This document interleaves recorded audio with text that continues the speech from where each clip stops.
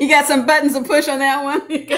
oh, we're good. We got live. Oh, hello, everybody. We, Bridget and I have just had a few technical difficulties getting on today, so we apologize for the delay hopping on. But good afternoon and welcome to our third Thursday Common Sense Parenting Facebook Live. My name's Gabby, as always, joined here with Common Sense Parenting expert Bridget Barnes, and we are talking about a very important important topic for August, which is back to school. So mm-hmm. I know a lot of schools in Omaha, especially, went back this week. We've got some next week. So whenever you're going back to school, I feel like these tips will be very helpful for you and your kids during this season of life. So congratulations, you made it through summer, and here we are ready to start the school year off on a strong foot. And we're going to help you do that today by talking through some of our discussion topics. So if you're watching live and you've got a question for Bridget, please go ahead and comment it on this video and we'll get it answered during the live stream. And make sure you also give this a big thumbs up. Okay, so like I said, it's back to school season. Here we are. Bridget, how can parents support their children during this time? Well, I think making the first day back to school a special day, do something a little different that, you know, you really hold for the first day, whether it is, you know, making pancakes or you get the first picture as they're waking up or going off. Um, they have their special clothes that they're wearing, something that makes the day the day, you know. Yeah. And um, I would definitely say plan for the day and prepare for it long before it happens so that kids uh, know the rules. You can review the rules of the school uh, with kids so they don't just do things and they don't know they're not supposed to do them or if they're little biddies, you know, crossing the street and just kind of go over things like that. And just, I think planning helps everybody to calm down. They know where things are, they have their things. Uh, and making the day special. So uh, I think that's really great because those memories last for a very long time. Even me, I think that when my yeah. my son was very little, and I cried the first day. oh, I know. Uh, yeah. So special. Mm-hmm. So, back to school can be overwhelming for both parents and kids. How can we prevent feeling overwhelmed and manage our emotions during this busy season? Well, definitely, you want to reinstate that uh, school day routine. You want to put those things that have been put aside for the summer back in place. And if you could, it would have been best if you started as, you know, early on, uh, a couple of weeks before school started, you know, start putting those things back in. Uh, make sure that at least your routine is reasonable for your kids. You know, allow them to kind of ease back in a little bit uh, so that they're not overwhelmed. Break down those routines a little bit for kids so they're manageable. Don't say you have to have your bed done and your chore done and your clothes on in the morning. So kind of, you know, make the break down those routines. Um, I like to create like a school equipment storage uh, yeah. box you know because uh, you know kids uh, will need things or they'll lose things or tissues or whatever and so you don't have to run to the store and get that so just kind of buy a little over so that you can have those things on hand for kids and sometimes that helps parents too uh, make you know going back to school not so hectic mm-hmm. yes what tools should we give our kids to prepare them to have the best year ever? So you talked about a toolkit. What should we put in it? well, I'd like to talk about, you know, a toolkit that is not physical. It's the social skill toolkit. You know, uh, what most teachers will tell you is that you could have a genius on your hands, but if they can't follow instructions, stay on task, accept no for an answer, they're going to struggle in school. And so parents who give their kids those tools really are you know, helping their kids be more successful in school. So while you're thinking about all the little gadgets or pencils or rulers or calculators and everything else that they might need, social skills should be on the top of your list. I think also um, making sure you get involved with school. Well, sometimes we think about what we can do for the child to be involved, but uh, studies show that when parents are involved, kids do better in school. So whether you uh, join the PTA or, or, or, you volunteer or you just uh, stay in communication with the teacher or send her a positive note of encouragement, uh, whatever you do, try to get involved as much as you possibly can in your child's school so that you can help them prepare uh, not only for the first day but for you know the whole year. Yeah. When we think of going back to school we often think of buying school supplies meeting our teachers getting new clothes packing lunches you know the list goes on something that we may not be thinking of top of mind is actually at the top of our mind and that is mental health so, mm. how can kids and parents make their mental health a priority this school year? Yeah, by making it a priority. I mean, we sometimes think about uh, we automatically think about getting their physicals. You know, every you know where you're going to get that physical, but it would be a good idea to to tell your pediatrician to also assess your child's mental health. Even if you know if it comes back nothing, or you're like, oh, you know, I don't think there's anything there. Just make sure because sometimes kids are not always telling us things.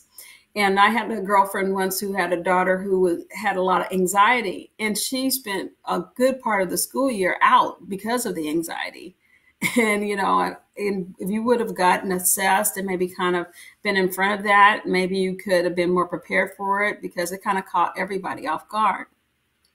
The other part to that, besides you know, when you get your physical, get a uh, um, the mental assessment is to be able to get a appropriate referral for your kid. But communication is key. Communication is key uh, for mental health because sometimes other people are seeing things that you are not seeing. So talking to your teachers, talking to your children at Boys Town every day. We go over kids' school day. We find out how they feel. Uh, if you do the same thing in your home, I know sometimes kids just give you the pat answer, but I would just say, let's go on a date. And then I take them around and get a Coke. And then if sometimes my son would talk to me and so, it'd be a little chatterbox. I want to shut him up. No, I'm kidding. sometimes he wouldn't say a word to me, but he knew I was always there. I was always available to listen to him. And so was his dad. So uh, communication is key to assessing children's mental health um, as well. Yeah, definitely. And, you know, if your child is dealing with some back to school anxiety during this time, we are doing another Facebook Live next week that we actually just planned. And that's going to be mm-hmm. with one of our new child psychologists, Dr. Yang Chong. So that will stream to our Boys Town Parenting Facebook page as long as our Boys Town, as well as our Boys Town Pediatrics page. So I'll make sure to link that event here in the comments. So if you want to tune into that next week, it's definitely you know, help helpful building block on top of this conversation. Oh yeah, that sounds really exciting. I'm definitely going to tune tune into that one. Yeah. Also, you know, parents can go to the Boys Town uh, .org site uh, and just write in tips for going back to school or tips for assessing children. Uh, our hotline is definitely there for them. So lots of different things out there for parents and for kids. Yes. So, this is a situational question we have submitted by one of our followers. It says, My child is not looking forward to going to school and keeps saying that he just wants to stay home with me.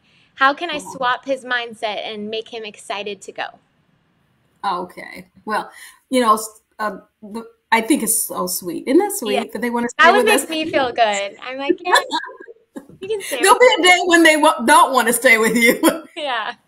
I'm out of here. No. Uh, so yeah, enjoy it while you can. Um, I would definitely say that uh, hearing children first, not trying to change their mind. Uh, if they have some concerns, uh, you know, talk to them about them, validate their feelings, uh, you know, be empathetic toward their feelings. I can, I hear you're saying that you're really scared or you don't want to go and you want to stay with me. You know, tell me why, you know, you rather not go to school, you know, is, you know, and figure out how they feel um, and some of those feelings to, will lead you to the reason why they feel that way. And then you can be able to help them process through that. And then think of strategies like I can walk you uh, you know, to school or halfway, and then we'll get your friends and they'll walk in front of, you know, and then you can walk by yourself. So giving them a little leeway, going to visit school, maybe it's a new school or a big scary place, or, you know, and you can kind of go and dispel any kind of fears, meeting their teacher ahead of time uh, can be helpful. Uh, sometimes kids just uh, older kids like if they're going to a new school and they're a teenager and they're like this is they're coming out of eighth grade and going to high school. It can be very, very scary. Mm-hmm. Journaling, journaling for them might be a helpful way to get their feelings down. They might not tell you, but they might tell their journal yeah. Uh, how they feel um, that kind of thing. Maybe having a slumber party the night, you know, uh, the weekend before school starts, so kids can share their fears with other kids, and those other kids are like, "I'll be with you," and maybe other kids, maybe it's not you, maybe it's their friends that can help them out with that, or a big sister or brother. Uh, I know that my big sister was really helpful to me transitioning to school because she was there. Uh, so it was really nice to have, you know, someone around my age kind of be with me. My parents were great, but sometimes it's yeah. nice to have somebody around your age to help you. Mm-hmm, definitely. And we're also leaving some helpful links in our comment section below. So we've got a guide to anxiety linked below, as well as a guide to helping your child love learning. So those are some helpful additional links to check out after this video concludes. The next question is What advice do you have for a child entering middle school? How can I parent through all of these transitions? Well, you know, teaching children just to transition, uh, whether it be, you know, from one activity to the next or from uh, school uh, to the next or one grade to the next, uh, learning how to um, be able to manage your emotions and self-soothe and, uh, you know, those kind of things are things to talk about with kids uh, practice with children, okay, and help them, prompt them to put that in place, you know, when they need those kind of things. Okay, we're going to go to school today. And when you feel anxious, what are you going to do? You know, um, how are you feeling today? And, you know, those kind of things kind of prompt the, the teaching you've already put in place. So I think that um, when kids have problems with transitioning, I give them plenty of leeway time. So if I have a kid who uh, sometimes the parents will tell me they have a child who putters around in the morning. That's their way of just avoiding this this thing and makes themselves late for whatever the event is. So, you know, putting an extra 15, 20 minutes on that morning for them, having them do a lot of things at night. Their bag is in the car. They're not, you know, they're just getting themselves ready in the morning and just kind of taking some of their stumbling blocks and challenges out of their way mm-hmm. uh, I think could be helpful to kids transitioning problems. Just being that real, you know, soundboard, I think um, getting some really good books. The Boys Town Press has some really nice books about kids transitioning. I can't think of one at the top of my head, but uh, for some of the younger kids, some of those RJ books uh, where a, child is having problems getting involved with school or whatever the case may be, and then talking about it. Maybe a a movie and talking about how that person's transitioning or what's getting in their way. And that's the same as your kiddo.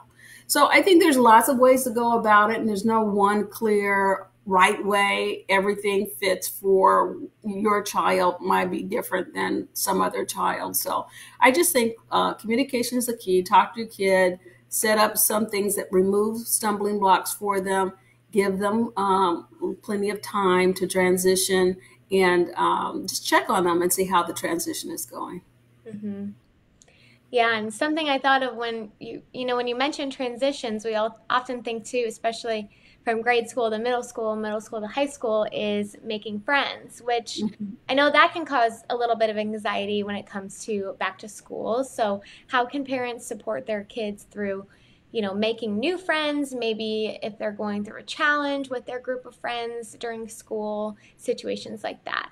Which I know we could probably do a whole episode on this, but we'll we'll put that on our list, everyone. yeah, well, we had this one mom who had this little boy. Uh, she had gotten divorced and then moved uh, moved to a new location, and then he had to make new friends on top of a divorce. So it was really stressful for him and for her. Um, and the again, the one thing I would say is just talking to your kids about their fears, because sometimes you know if you kind of dispel that, like, well, no, not everybody's going to hate you. They don't know you yet, right. and uh, and no, you don't have to make a lot of friends. You don't have to be super popular. You have to just find one good friend. And well, how do I do that? Well, hey, how about you find out what you like to do? And when you find out what you like to do, is it band? Is it this? Is it that? Then you're going to find somebody else who's liking that if they're in that group. And then you find the one person. And guess what? They have friends, you know, and then they get to be your friend. So starting out small so they don't feel so overwhelmed like it's a big school and I have to be popular because sometimes kids go for popularity versus making friends. There's two different things uh, in that and uh, not forcing them. Some kids are a little slower to that. They're more introverted. They're uh, they're not going to have a slew of friends. They're not going to join everything. And um, so uh, finding out who your kid is and what's good for them. What, you know, one shoe does not fit everybody. So I think that, um, yeah, I think, you know, it's good to have friends. Um, but to have real friends, it does take time. I tell kids that all the time. You know, it's not something that always happens overnight. We live in an instant world where we want everything to be fast, to be now.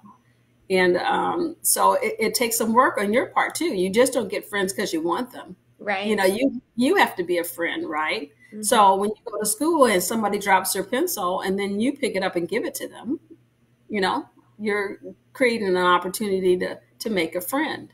Mm-hmm. So I think that uh, teaching kids how to be a friend to someone is a, a good way for them to have friends. Yes, for sure.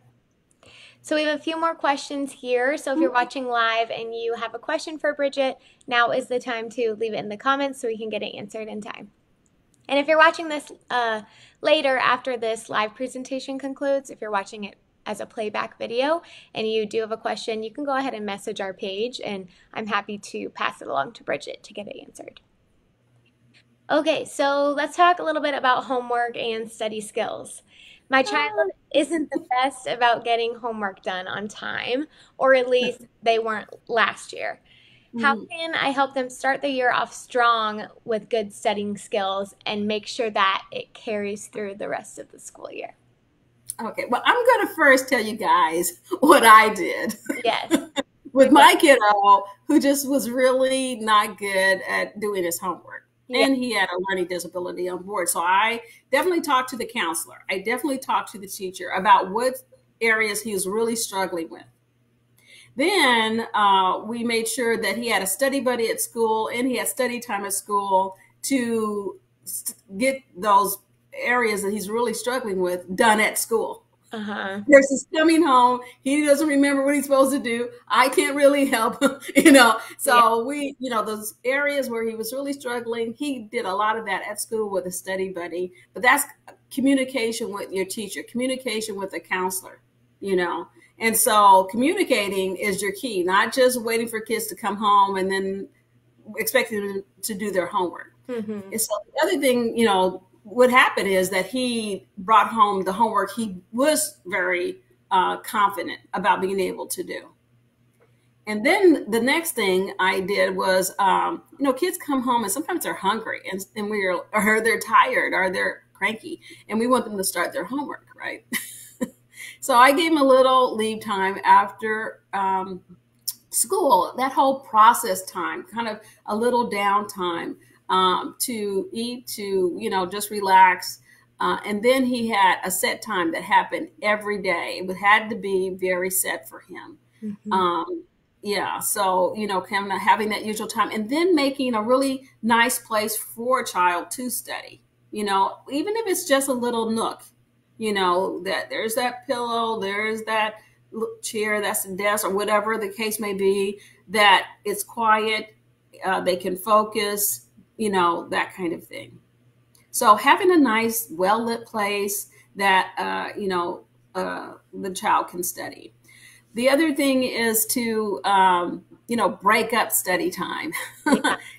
you know, having kids sit there for two, or three hours and really not get anywhere is not what you want to do. So having little breaks and then talking to your teacher again to find out how many problems can my kid do in this much time? And they can tell you because lots of things are timed. So they can, you know, say, okay, yeah, he should be able to do this. He's really struggling with that, but we're going to ha- handle that during his study time at school. So kind of really talk uh, to your teacher so you can set up a good homework time for your kid.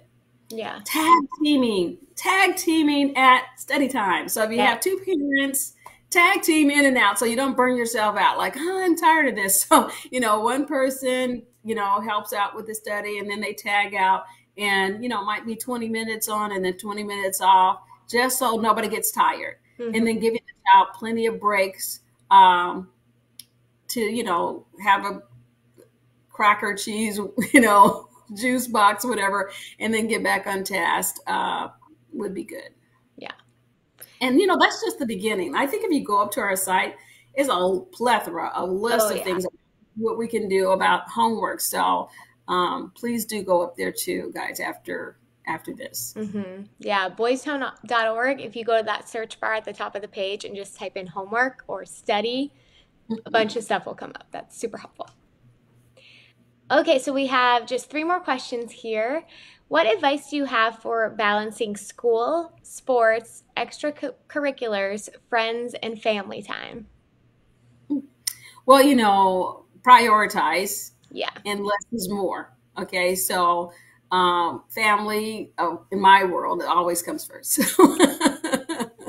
and then you know friends and extracurricular activities you know um, you know i'm sorry school and then uh, extracurricular activities that kind of thing. So my thing would be um, you know when i say less is more sometimes kids get over involved or they take on too much uh, and they can't they're overwhelmed by it. And uh, they have so much homework uh, and everything that they just can't seem to balance their you know sports and everything that they're doing. So i would just really say you know get one thing that they really love to do uh, and as they're you know as they get better at that thing and they can manage it and they show you they can manage it if they can figure out to you know to do another thing you know that's fine i mean i had a sport but i also was on a speech team but I could balance that and do my homework. And my parents, you know, trusted me to do so, and I proved that I could do it. And as soon as I was getting bad grades or something like that, I'm pretty sure they would have put the plug on one of those or two. so before you get to that, kind of have kids earn the right or the privilege to have a lot of things going on or more than one thing's going on um, and that people are way more important uh, than you know every sport or you know extra thing that you could be doing. Um, but uh, definitely put that family time in there because you won't know what kids need from you or if they're overwhelmed, if they don't have family time. And know who their friends are because their friends have a huge influence on some of the things they want to get involved in or some of the things they put away that they used to love. And why are they doing that for those friends or, or what's going on with that? And just finding that balance a little bit at a time so kids can learn how to balance that. And then you can put a little bit more if they if they want that or they can do that versus just join everything and do everything. Yeah. Yeah. That is just that's overwhelming. I like what you said about you know picking one or two things that you're good at and passionate about and making sure to prioritize the most important thing family school things like that. Mm-hmm.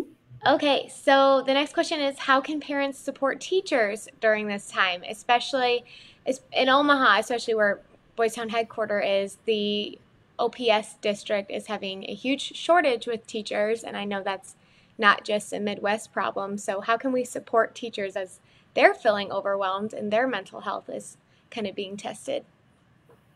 Yeah, well, definitely. Um, the number one thing that uh, sometimes uh, new teachers leave school. Well, there's three things, but I'll just tell you about one of them. And that is behavior in the classroom or feeling overwhelmed by kids' behaviors. And so why that's why those social skills are so important.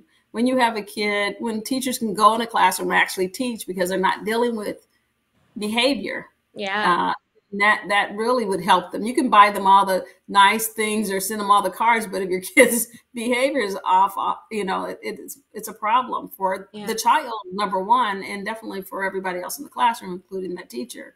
So focusing on teaching kids social skills so they can be successful in school. We have a wonderful class called Parenting for School Success, which is all about helping parents uh, challenge their children to be successful in school, and even kids who are academically successful can you know be helped by learning other things that challenge them and move them forward. So that would be a good class i would suggest parents to go to.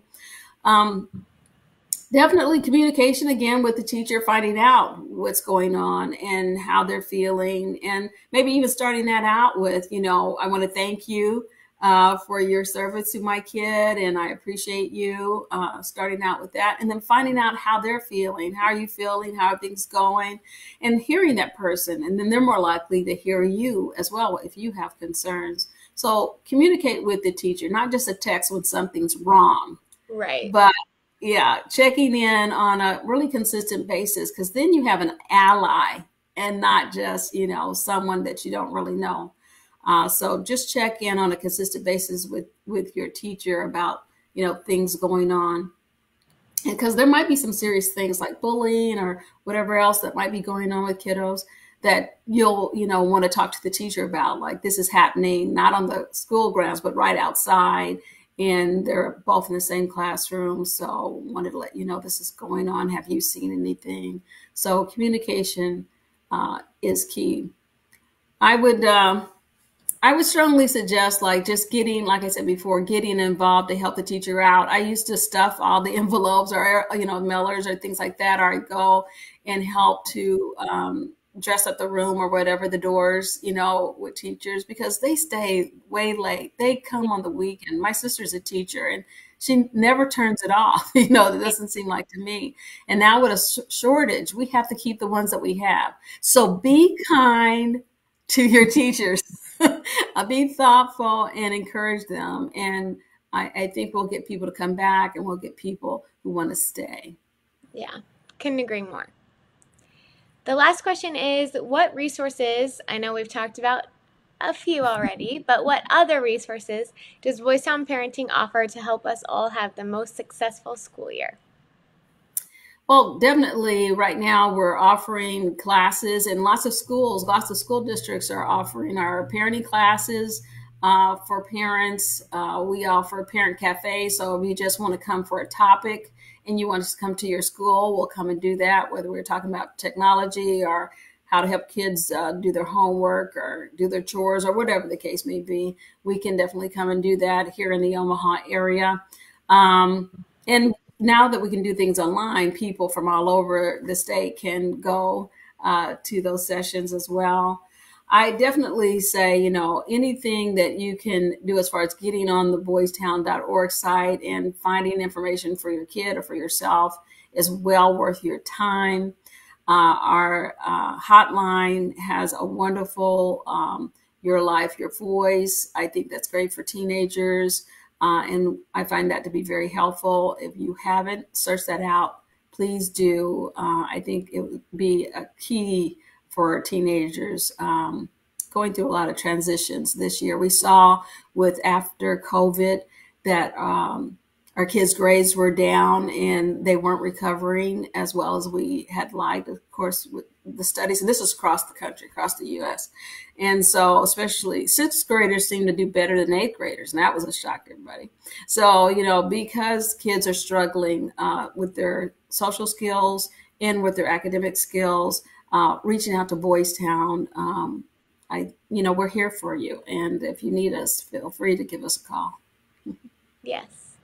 Very good. Well, we hope that this August chat was helpful to you and that you and your family have the most amazing school year. As always, you know, we are always here as a resource to help you and help whatever issue you are dealing with when it comes to parenting. So, like Bridget said, you can go on boystownparenting.org and ask one of our professional experts for advice. You can message our Facebook page and we can direct you to find the resources that you may need. And we're here for you. So thank you so much, Bridget. It's always great to chat with you, and I look forward to our chat next month. Okay. See you next month, everybody. Bye-bye. bye bye